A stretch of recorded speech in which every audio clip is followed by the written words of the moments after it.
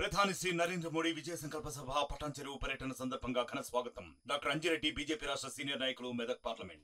విశాఖలో విజన్ విశాఖ అని చెప్పి రేపు సీఎం జగన్మోహన్ రెడ్డి చేతుల మీదుగా పలు అభివృద్ధి పనులు అయితే ప్రారంభమవుతున్నాయి. అయితే దీనికి సంబంధించి మనతో పాటు మంత్రి గుడివాడ అమర్నాథ్ ఉన్నారు. ఆయన అడిగి తెలుసుకుందాం. సార్ చెప్పండి ఏంటి విశాఖ విజన్ విశాఖ అభివృద్ధి పనులు కొన్ని అభివృద్ధి పనులు అయితే చేపడుతున్నారు. ఏంటి ఏ విధంగా చూడొచ్చు? ఈ విశాఖపట్నానికి భవిష్యత్తు ఏ రకంగా ఉండబోతుంది? ఈ ప్రభుత్వం తీసుకున్నటువంటి నిర్ణయాల వల్ల దీని భవిష్యత్తు ఏ రకంగా మారబోతా ఉంది?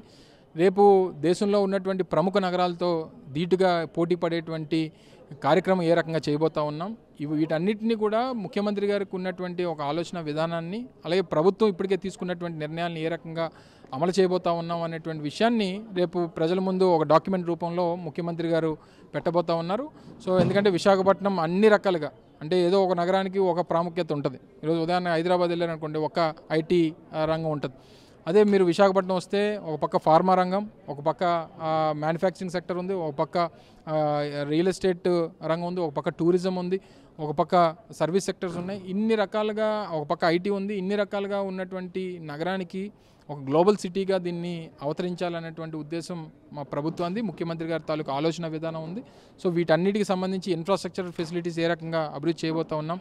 ఫ్యూచర్ నగరం డొమెస్టిక్ యూసేజ్ ఎటువైపు వెళ్ళబోతా ఉంది పారిశ్రామిక యూసేజ్ ఎటువైపు వెళ్ళబోతా ఉంది ఏ రకంగా అంతర్జాతీయ స్థాయిలో మాల్స్ తీసుకురాబోతా ఉన్నాం టూరిజం యాక్టివిటీ క్రియేట్ చేయబోతున్నాం ఇవన్నీ కూడా ప్రజల ముందుకి ముఖ్యమంత్రి గారు తీసుకురాబోతా ఉన్నారు. సార్ ఏ ఏ సెక్టర్స్ వస్తున్నాయి సార్? అంటే హెల్త్ సిటీ హెల్త్ సెక్టర్ ఒకటి ఉంది ఇంకా దాంతోపాటు ఇంకేంటి అదే అదే చెప్తున్నా కదా ఇందాక చెప్పినట్టు ఫార్మా రంగం కానివ్వండి హెల్త్ సెక్టర్ కానివ్వండి టూరిజం కానివ్వండి హాస్పిటల్కి సంబంధించినటువంటి నూతన ఆలోచనలు వాళ్ళకి ఏవైతే ఉన్నాయో కొత్తగా వస్తామన్నటువంటి వారిని ఆహ్వానించేటువంటి కార్యక్రమం కానివ్వండి ఫైవ్ స్టార్ రిసార్ట్స్ని ఈ ప్రాంతానికి తీసుకొచ్చేటువంటి దాని కానివ్వండి లేదా అదాని డాటా సెంటర్తో పాటు వైజాగ్ టెక్ పార్క్ లాంటి మరింత కొత్త ఫెసిలిటీస్ని క్రియేట్ చేసేటువంటి కార్యక్రమం కానివ్వండి బల్క్ డ్రగ్ పార్క్ విశాఖపట్నంలో మన నక్కపల్లి ఉమ్మడి విశాఖపట్నంలో ఉన్నటువంటి నక్కపల్లి ప్రాంతంలో కానివ్వండి లేదా ఎన్టీపీసీ ద్వారా గ్రీన్ హైడ్రోజన్ హబ్ ఏర్పాటు చేసేటువంటి కార్యక్రమం కానివ్వండి లేదా different different activities Bhogapuram international airport కానివ్వండి దానికి సంబంధించి కనెక్టివిటీ రోడ్డు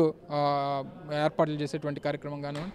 ఇవన్నీ కూడా పెద్ద ఎత్తున డిఫరెంట్ సెక్టర్స్లో అన్ని సెక్టర్స్లో కూడా ఏ రకంగా ముందడుగు వేయబోతా ఉన్నాం అనేటువంటిది ముఖ్యమంత్రి గారి మాటల ద్వారా ఆయన విజన్ డాక్యుమెంట్ ద్వారా ప్రజల ముందు పెట్టబోతా ఉన్నాం. కొన్ని కామెంట్స్ అయితే కనబడుతున్నాయి ఎలక్షన్ ముందు హాదరా కొన్ని డెవలప్మెంట్ చేస్తున్నారు ఇది కావాలని ఎలక్షన్ స్టంట్ అంటున్నారు. ఏమంటారు ఇవన్నీ కూడా నేను అనేది ఇప్పుడు మేమేదో ఊహల్లో పెట్టేటువంటి విషయాలు కాదు.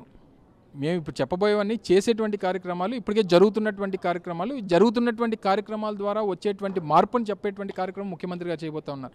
రేపు చెప్పబోయేటువంటి ఏ ఒక్క కార్యక్రమం కూడా ఊహల్లో పెట్టేటువంటి పరిస్థితి ఉండదు ఏది గ్రాఫిక్స్లో చూపించేటువంటిది ఉండదు. ప్రతిదీ కూడా రేపు జరగబోయేటువంటి కార్యక్రమాలు జరుగుతున్నటువంటి కార్యక్రమాలు జరిగే దానికి ఓ ఇప్పటికే నిర్ణయాలు తీసుకున్నటువంటి కార్యక్రమాలు మాత్రమే ప్రజల ముందు పెడతాం. ఏదో ఏదో విశాఖపట్నాన్ని చూపించి విశాఖపట్నాన్ని ఇంకో న్యూయార్క్లో న్యూయార్క్లా చేసేస్తామో లేకపోతే ఇంకోటి చేసేస్తామో లేకపోతే ఇంకో సింగపూర్లో చేసేస్తాం అనేటువంటి విషయాన్ని చెప్ చెప్పేటువంటి సాహసం మేము చెయ్యం.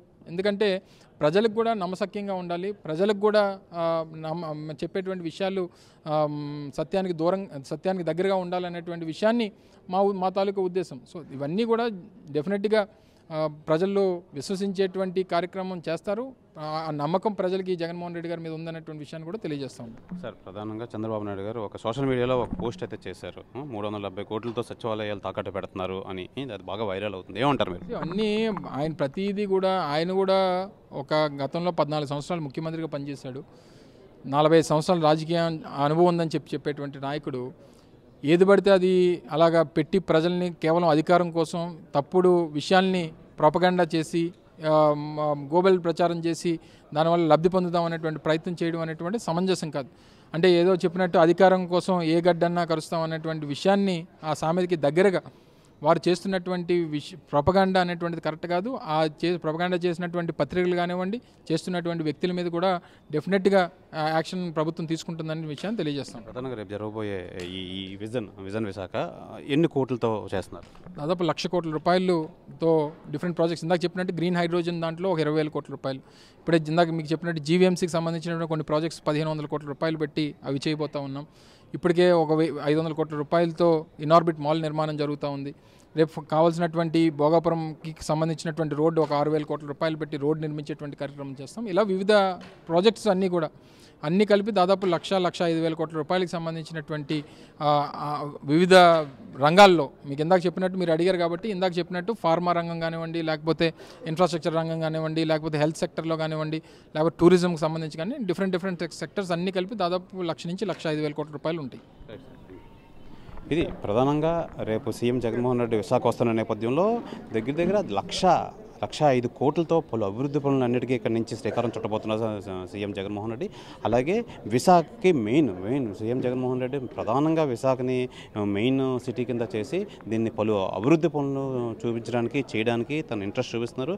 అలాగే రానున్న రోజుల్లో విశాఖపట్నం మంచి పేరున్న నగరంగా తయారవుతుందని చెప్పి మంత్రి గుడివాడు అమర్నాథ్ అయితే తెలియజేస్తున్నారు.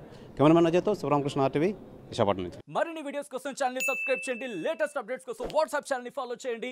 అండ్ లింక్ డిస్క్రిప్షన్లో ఉంది.